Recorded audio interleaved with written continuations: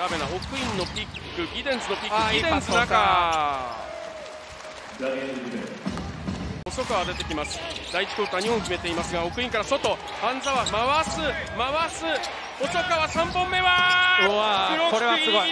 これははすごい。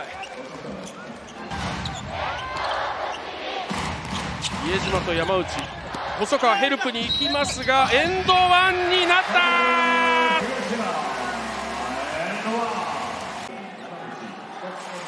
山内2つ目のファールです。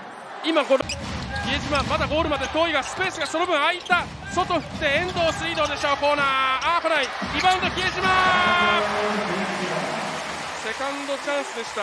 もう1回細川出てきますが奥インとのトゥーメンゲーム。アタックフォトゥ前ファールあってエンドワンになった。奥インです。まず逆転されずにはい。一度答えは出しましたね。この後ですね、リデンズのキック。そして細川いたー。うわ逆に宇都宮が踏ん張りどころですがイカルあーこれファウルなしです。ただ3円確保。まだ十分時間はあって山内のコーナースリー。宇都宮タイムアウトです。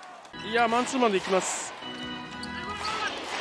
奥インのピック山内。山内フローター。これは彼の得意な形。リバウンドで大きく差がついてるんですが点差は全く逆。あらや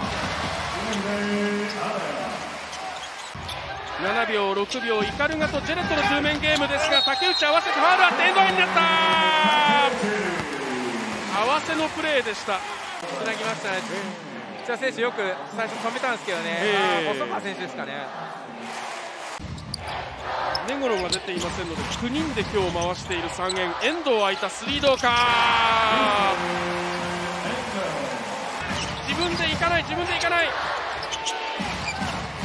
まあスリーが当たってないということを分かって比江島アタックだと分かっても行かず。ですね。ペイントでしたね。ファールなしで守ればあと1回攻撃のチャンスありますがラベナーファールなしで奪った宮タイムアウトです。ここでラベナのスティールが出ました強心臓。ねうわーいいリーチの仕方だ。絶対ファールができないという。はスリーを打たなければいけない宇都宮エンド来ませんでした。試合終了。59対56